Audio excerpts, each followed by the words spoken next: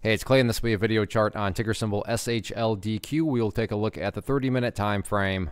Real quick, what do I mean by 30-minute in case maybe you're new to charts? Instead of each one of these candlesticks here representing one day's worth of price action, which is what you would normally see, each one represents 30 minutes. So while this here may look like several days worth of time, it's actually today's price action broken down into 30-minute time slices.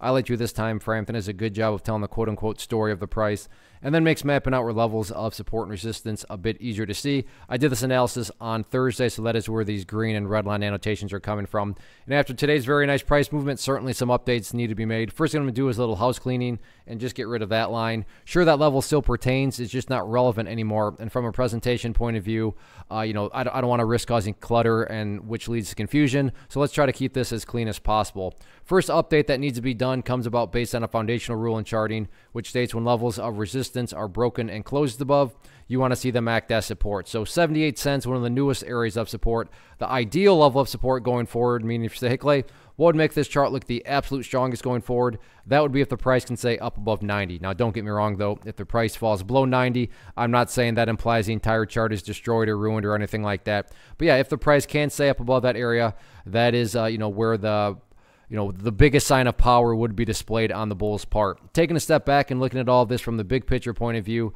that is where the purple line here comes into play. The famous 50 period simple moving average. Keyword being moving. As time goes by, that line is going to move itself higher and higher.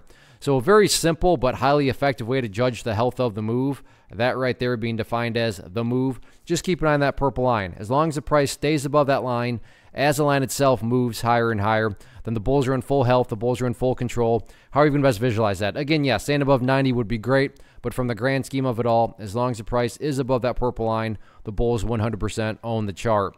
What about levels of resistance?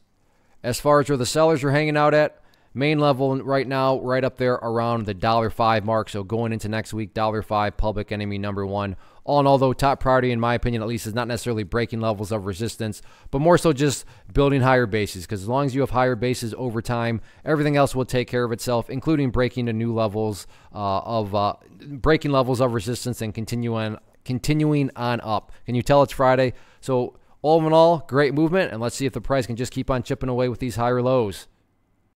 One of the biggest questions I get is, hey Clay, how do you find the stocks that you trade? So what I've done is put together a free resource guide where I talk about the tools that I use to locate stocks that I find interesting and think may have potential. So if that sounds like something that could add value to you as a trader, then click on the image that is up on the screen right now and I will email you the guide. The guide itself is very short and to the point and best part, it's completely free. Thanks for watching the video. Let me know if you have any questions.